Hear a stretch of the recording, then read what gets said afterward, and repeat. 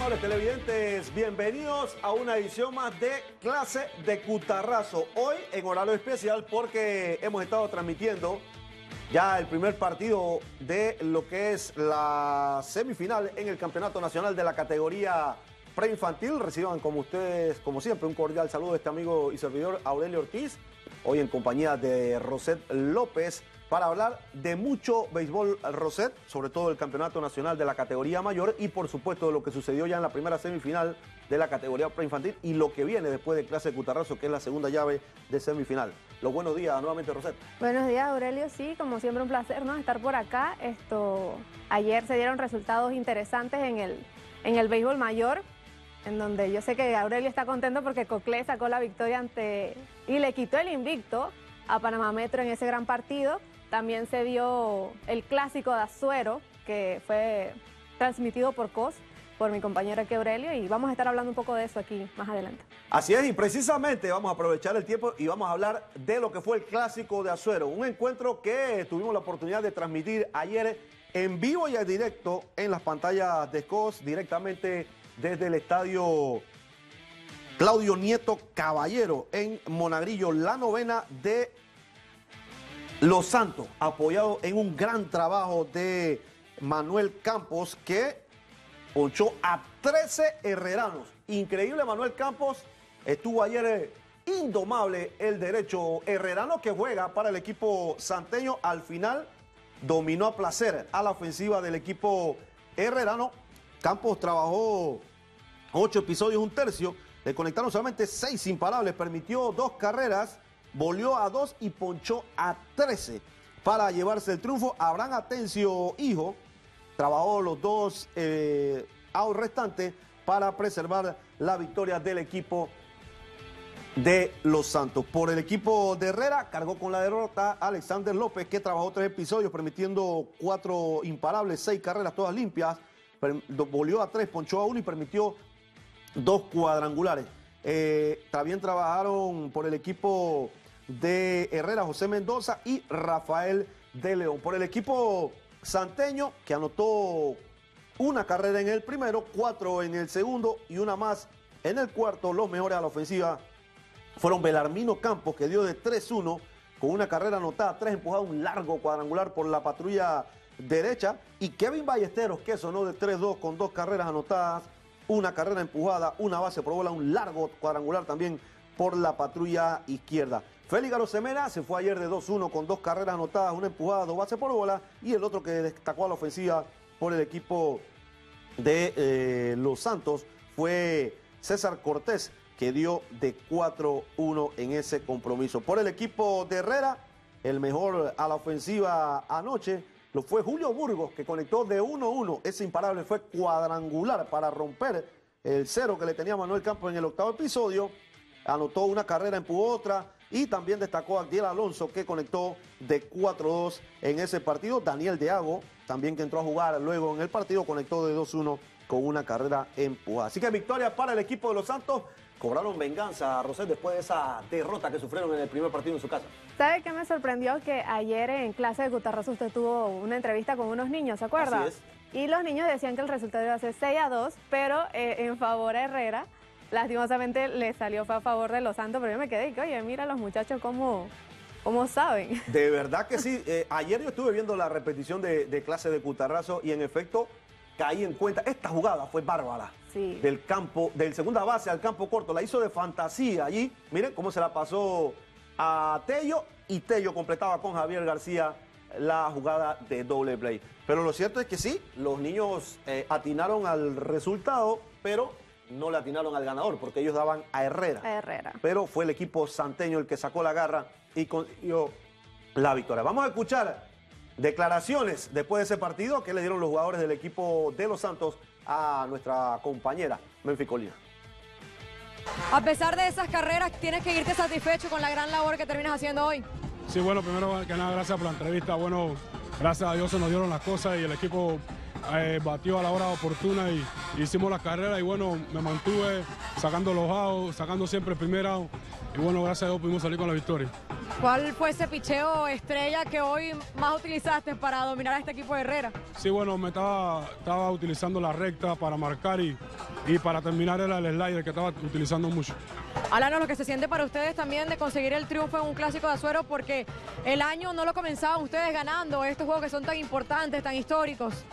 Sí, bueno, es un juego, es un juego muy difícil porque los dos equipos juegan a, a ganar y se juega fuerte la pelota y bueno, gracias a Dios pudimos hacer la carrera y, y me mantuve hasta, hasta el final. No pude sacar los outs, pero vino Abraham y pudo sacar los, los, los que se necesitaban. Y para ti quizás sentimientos un poquito encontrados puede ser, ¿no? Porque Herrera viene siendo tu provincia. Sí, bueno, eh, sé que, que uno tiene que venir a hacer su trabajo estando con cualquier equipo y gracias a Dios pude hacer el trabajo y, y salimos con la victoria. Háblame del noveno episodio. ¿Tenías la mentalidad de sacar esos últimos tres outs o te cambia todo por esa base por bola que terminas dando, se te va a cuenta máxima? ¿Cuál era el plan para ese noveno episodio? Sí, el plan era eh, sacar el, el noveno, pero no se dieron las cosas y comencé boleando y después me dieron hit. Bueno, ya eh, el manager sintió como que ya no, no daba más. y, bueno, ya vino Abraham y pudo sacar los outs. Mándale un mensaje a esa afición que siempre está pendiente de sus partidos y que hoy por la pantalla de COS estuvieron en sintonía. Sí, bueno, a la fanática de los Santos que, que mañana jugamos en casa y que nos vayan a apoyar, que el equipo está, está, está fuerte y vamos a seguir con el triunfo. Gracias. Correcto, con Belarmino Campos, soy un hombre importante a la ofensiva para el equipo de Los Santos. Lo principal es la sensación de ustedes, ¿no? De quedarse con este triunfo y que quizás con ventaja o con tranquilidad pudieron estar. Bueno, sí, primero que nada, muchas gracias por, por las entrevistas. Sí, muy importante este triunfo para eh, ponernos en buena posición en, en la tabla. Eh, sí, fue un- una gran importancia en la ofensiva hoy y gracias a Dios sacamos la victoria, que es lo, lo principal. Háblame del cuadrangular, del momento. ¿Esperaste algún picheo específico o cómo terminó pasando? Bueno, él, él me abrió con una bola y yo me la quedé esperando el picheo que, que me en recta y me la tiró y la aproveché. Ok, también hacer un balance de lo que ha pasado para ustedes en la temporada, lo importante que es este triunfo, no arrancaron con victoria en ese clásico de Azuero, pero es bastante temprano también en el torneo. Sí, eh, no arrancamos muy bien el torneo, pero eh, los compañeros, eh, gracias a Dios, hicimos el ajuste, que venimos en- eh, teniendo un buen entrenamiento con el, el entrenamiento del entrenador Willy, Willy Serrano y, y nosotros estamos preparados para esto. Muchísimas gracias, Belarmino. Voy a resolver contigo, Aurelio. Bien, ahí están entonces las declaraciones tanto de Manuel Campos, que fue el lanzador eh, ganador con esa gran faena, como lo dije, ocho episodios, un tercio, 13 ponches. Y Belarmino Campos, que dio cuadrangular y empujó tres carreras. Esta- Vamos con el... Sí, dígame. Esta victoria eh, de los Santos sería, los coloca, cuatro juegos ganados, dos perdidos. Y Herrera, tres ganados, tres perdidos. Así es.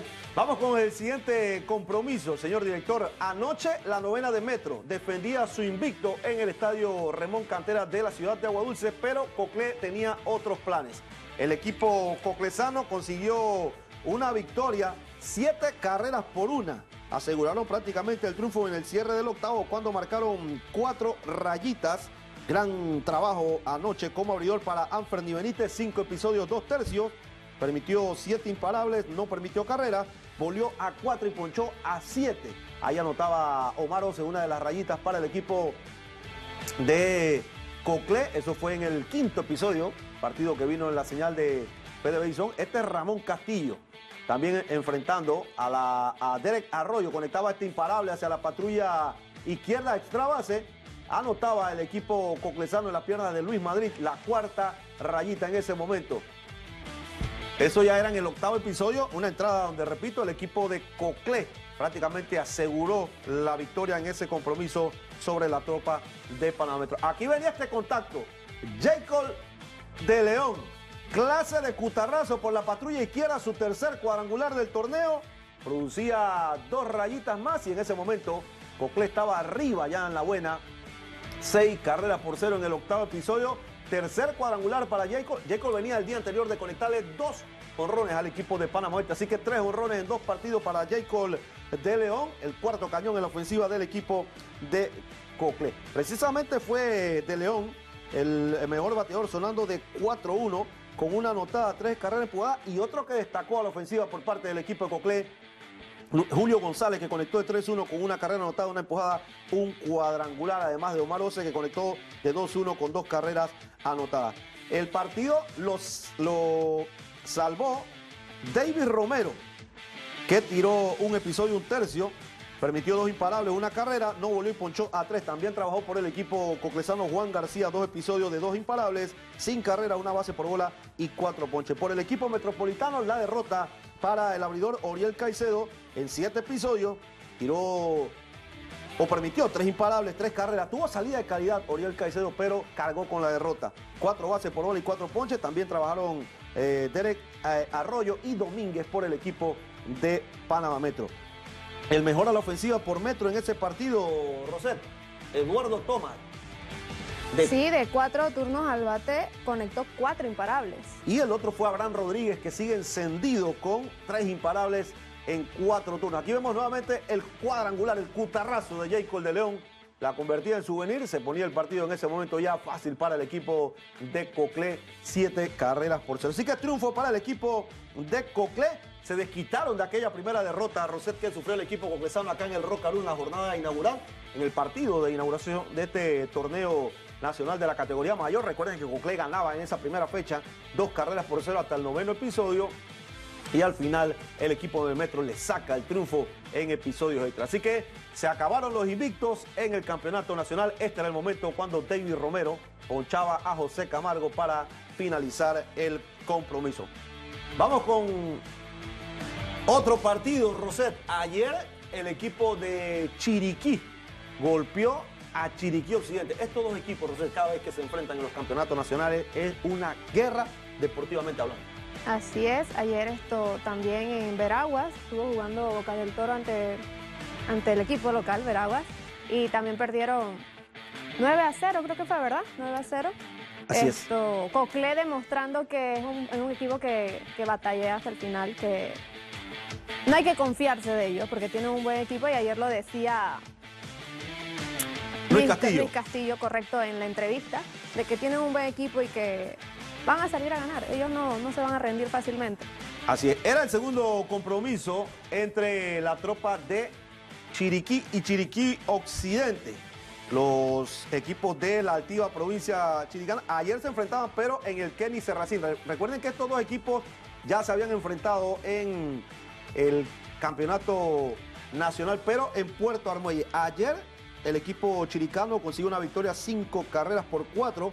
La victoria prácticamente se aseguró en ese tercer episodio cuando el equipo de Chiriquí marcó cuatro rayitas y aseguraron con una más en el cuarto. Ayer el triunfo fue para el, lanzador relevo. Le digo por acá, el que trabajó fue Ángel Juan. Fue el ah, lanzador ganador trabajando como relevo cuatro episodios de dos tercios, permitiendo cuatro imparables, una carrera que fue limpia, no volvió y ponchó a cinco. También trabajaron por Chiriquí, John Núñez que abrió el partido, Cristian Pití y Adiel Saldaña, mientras que eh, eh, Saldaña se anotó el huevo salvado, mientras que por eh, Chiriquí Occidente cargó con la derrota Harold Araúz, el estelar, en tres un tercio, permitió nueve imparables, cinco carreras, todas limpias, volvió a dos y ponchó a dos. Imagínense, el hombre que le ganó a Italia en el Clásico Mundial de Béisbol ayer perdió ante el equipo de Chiriquí. Por el equipo de Chiriquí, los mejores a la ofensiva. Ayer, Irak Serrano de 4-3, Julio Avendaño de 3-2 y Carlos Quiroz que sonó de 4-1 con dos carreras empujadas. Por Occidente, el mejor a la ofensiva fue Giovanni Pinto que conectó de 2-2. Alexander Chávez batió de 4-2 con una anotada y también destacó Romani Macré que conectó de 3-2. Así que triunfo para el equipo chiricano sobre la tropa de Chiriquí Occidente en ese partido que se jugó allá en el estadio Kenny Serracín. Otro encuentro que se jugó anoche, pero en el estadio nacional Rocarú, el equipo de Colón enfrentaba nuevamente a Darien y al final el equipo colonense consigue otra victoria, Rosette. Colón que hemos visto que desde el inicio de esta temporada del béisbol mayor ha estado muy fuerte, ha estado demostrando que a pesar de que no tienen un, estadio propio, han sabido dar la talla. Así es, Agdiel Velázquez ayer trabajó cinco episodios. Como abridor no permitió carreras ni imparables, volvió a dos y ponchó a siete. Luego vino Agapito Barrios que en dos episodios permitió un imparable, una carrera, ponchó a dos, pero salió lesionado Agapito Barrios en una de sus rodillas. Y terminó Jesús Sánchez trabajando dos episodios de cuatro imparables, dos carreras que fueron limpias volvió a uno. Victoria entonces para Agdiel Velázquez en ese triunfo de Colón, seis carreras por tres sobre la novena Darienita, juego salvado para Jesús Sánchez. Por el equipo de Darien cargó con la derrota a Dan Frías, que fue el abridor, permitió tres imparables, una carrera, volvió a cinco y ponchó a cuatro en cinco episodios. Por el equipo colonense, los mejores a la ofensiva, Isaías Velázquez, el refuerzo capitalino de 3-3 con una carrera anotada una carrera empujada, dos bases por bola. Yadiel, o Jadiel Santamaría conectó de 5-1 con dos carreras empujadas, un doble. Y Jorge Bicho, que ayer fue activado de 2-1 con dos carreras anotadas, dos bases por bola. Por el equipo de Darien, el mejor a la ofensiva, Ricardo Tibey de 3-2 con dos carreras empujadas, mientras que eh, Luis Barahona, el refuerzo, sonó de 2-1 con una base por bola y un ponche. Vamos a escuchar a Jadiel Santamaría el jugador del equipo de Colón, sobre lo que nos comenta, sobre lo que ha sido la actuación de Colón en este torneo. Bueno, primero que todo le quiero dar gracias al Señor por permitirnos estar aquí. Bueno, pienso que la clave del equipo ha sido la armonía. El equipo, todos los elementos del equipo saben su rol. Estamos hablando hacia un solo los. Tenemos una meta, queremos repetir el 2017. Estamos humildes y pienso que esa es, la, esa es la gran arma de nosotros, la armonía del equipo. Bueno, sí, tú lo has dicho, eh, hemos estado conectando bastante y la rapidez del equipo es una clave. Pienso que el equipo que que de un chance así en el infield es quieto porque del primero al noveno te puede robar la base y pienso que están haciendo bastante contacto, nos ponchamos eh, poco, así que pienso que podemos dar una buena sorpresa este año. Bueno, tocaste un punto que nos tocaste el corazón ya que nosotros en Colón estamos pasando por un mal momento eh, alto de la violencia, entonces no tienen el olvido, no tenemos coliseo ni de fútbol, ni de béisbol, ni de nada, no tenemos nada, nosotros le estamos exhortando al gobierno que no haga un estadio Mira que nosotros ni siquiera tenemos estadio, los muchachos jóvenes están haciéndolo bien y pienso que nos lo merecemos, nos merecemos un estadio, pienso que deben apresurar ese Mariano Bueno, sí, ya pasaron los cinco primeros juegos, ya eso pasó, ya eso está pago. Pienso que el día de mañana tenemos que ir a reflexionar, descansar y venir al juego a hacer lo mismo. A, equipo grande, equipo chico, a jugarle duro y que sea Dios que él decida, ¿no? El saludo para la afición. Eh, un saludo para mi gente allá en Colón, especialmente para mi gente de Guadalupe, Calle 8. Y gracias por la entrevista, Aurelio. Bien, me quedo con las palabras de Yadiel Santamaría.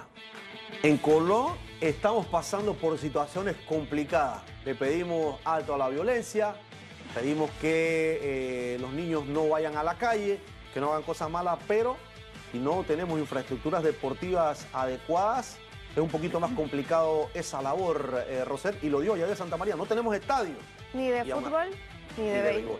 Y aún así estamos haciendo una buena labor, así que una vez más, el llamado para las autoridades. Ahí escucharon a Javier Santamaría, el hombre que estuvo con Panamá en el Clásico Mundial.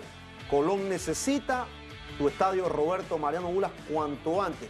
Hay que meterle la mano a ese coliseo para que Colón, que ha sido una de las provincias que más Grande Liga ha dado a este país, que más atletas ha dado en todas las disciplinas deportivas, atletas de alto perfil, el atleta que ganó la medalla de oro olímpica, entre otras cosas, pues obviamente tenga esa eh, ese empuje ¿no? y esa facilidad para que los niños puedan hacer su deporte, Rosette. Debemos apoyar, debemos apoyar el deporte y, debe ser esto un ejemplo claro de que si Colón ahorita mismo está haciendo un gran trabajo teniendo todas estas deficiencias, imagínense si tuvieran su propio estadio de fútbol, de béisbol.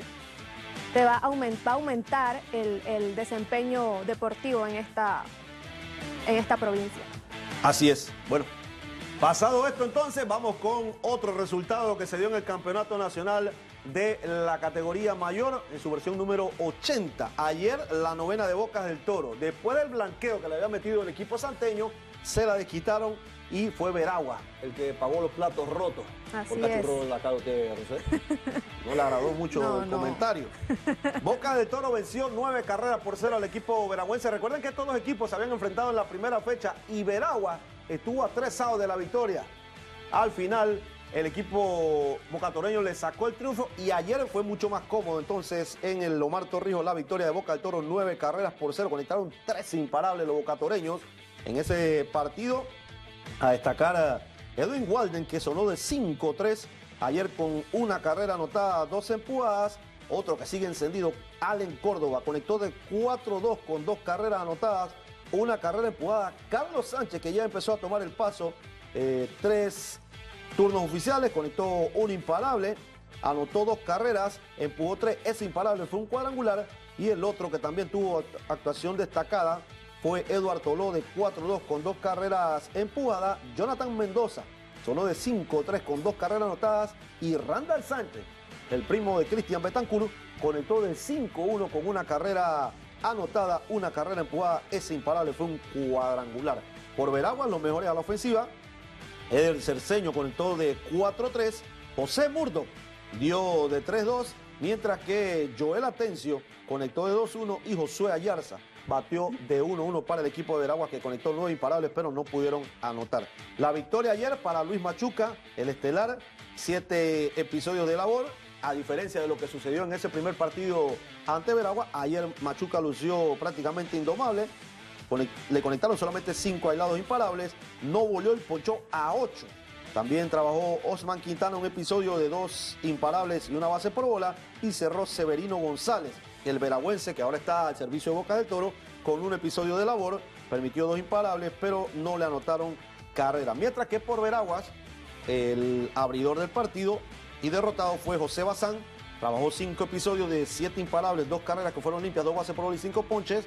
Javier Reina, Jorge Rodríguez, Félix Díaz y Gabriel Vázquez también trabajaron en ese partido para el equipo de Veragua. Así que, dicho entonces todos los resultados que se dieron en la jornada de ayer en el Campeonato Nacional de la categoría mayor, Vamos con la tabla de posiciones. Roset, ¿cómo está la tabla en el campeonato mayor de béisbol en nuestro país y que ha tenido alguna variación, sobre todo con los resultados que se dieron anoche? Vamos con la tabla, Roset.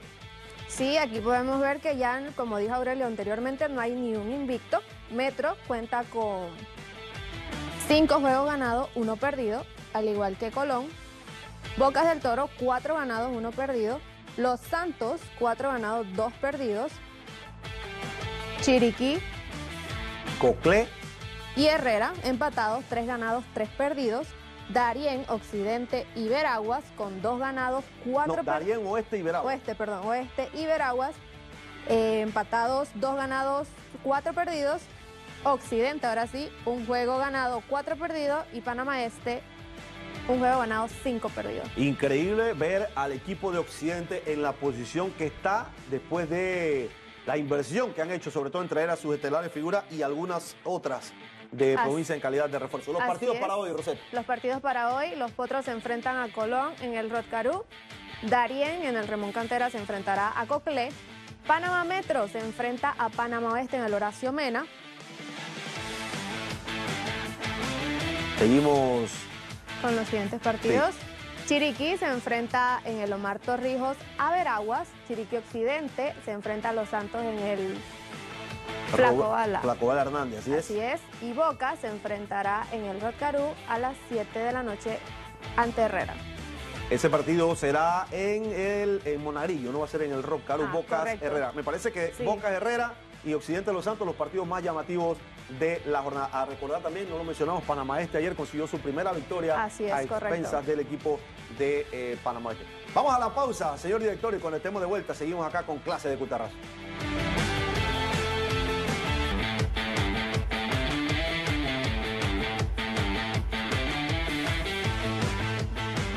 Y estamos de regreso acá en esta edición especial de clase de Cutarrazo en horario especial. Hoy porque estamos con la transmisión de las semifinales del Campeonato Nacional de la categoría preinfantil y ya el equipo, ya hay un finalista, Roset. La novena de los Santos viniendo de atrás consigue una victoria sobre el equipo de sus amores, la tropa de Veraguas. sí, Veraguas empezó a atacar en ese primer episodio anotando una carrera. Luego en el segundo también anotaron una y en el cuarto, pero en el Tercero y cuarto episodio se le fueron arriba a los Santos. Una gran labor de Manuel Castillo, dominando bastante a la ofensiva de los Santos en los primeros episodios, pero lamentablemente al final eh, carga con la derrota, ¿no?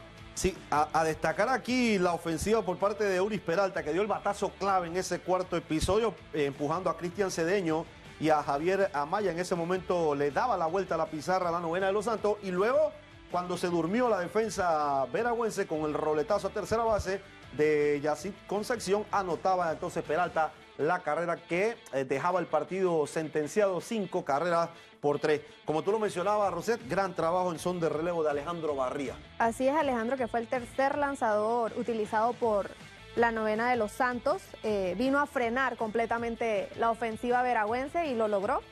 llevándose el salvado y la victoria. Sí, ahí está. En ese momento también se dormía la defensa del equipo de los Santos. Anotaba Veraguas en las piernas de eh, Edwin Campos la tercera carrera. Pero luego venía la reacción. Este cutarrazo por parte de Euris Peralta bañaba en claro al patrullero central Edwin Rodríguez. Anotaba desde tercera Cristian Cedeño. Y mira el recorrido de Javier Amaya desde primera base, el número 5 también en ese momento marcaba la cuarta rayita que le daba la vuelta a la pizarra. Luego con este contacto a tercera base de el muchachito Yací Concepción, se venía hacia el plato Euris Peralta para marcar la quinta rayita y eh, finalizaba en ese momento o ponía el marcador final. Aquí la jugada que daba por terminado el compromiso, roletazo de Lorenzo Carlos Jaén a manos del campo corto, pisaba la armadilla, a- ponían fuera a Cami Robles y ahí Los Santos aseguraba el triunfo y el pase a la final. Esa final arranca mañana a las 9 de la mañana y ese partido usted lo va a ver aquí en la señal de RPC. Vamos a ir a la pausa, señor director, ya para finalizar eh, clase de Cutarrazo y cuando estemos de vuelta, la segunda semifinal de la categoría preinfantil entre los equipos de Chiriquí y el equipo de Panamá. Ya regresamos.